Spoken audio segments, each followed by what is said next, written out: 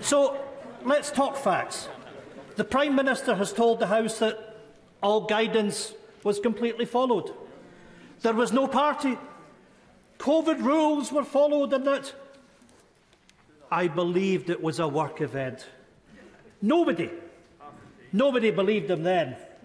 And nobody, nobody believes you now, Prime Minister. Yeah. Yeah. That is the crux.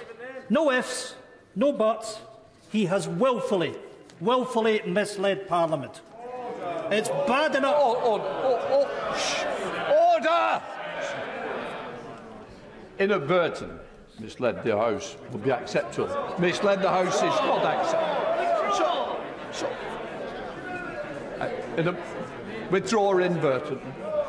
The Prime Minister inadvertently told the House on the 8th of December that no parties had taken place and then had to admit that they had. What the public see is a man who has debased the office of Prime Minister, shrinked responsibility, dogged accountability and blamed his staff at every turn, presided over sleaze and corruption and tainted the very institutions of the state. In short, Mr Speaker, this is a man...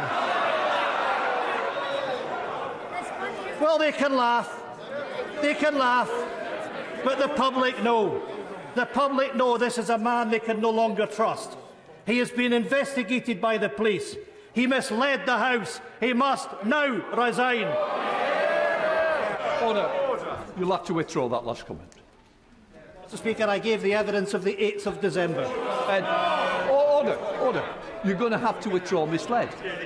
Mr Speaker, the Prime Minister has misled the House.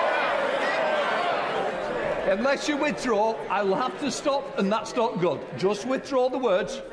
I am standing up for my constituents that know that this Prime Minister has lied and misled the House.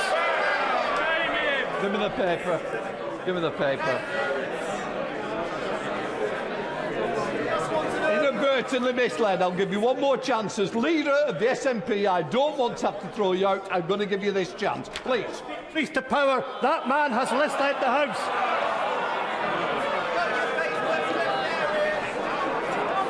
Shut up. I'm sorry it's come to this, and I'm sorry that the leader of the party has not got the decency to just withdraw those words in order that this debate can be represented by all political leaders. I've got to tell uh, the, uh, the right honourable gentleman that for much of what he said, uh, his best course is simply to wait for the, uh, for the inquiry to be completed. Can I just say, I take it the honourable member has withdrawn it, the right honourable member. That the Prime Minister may have inadvertently misled the House. But, should, order.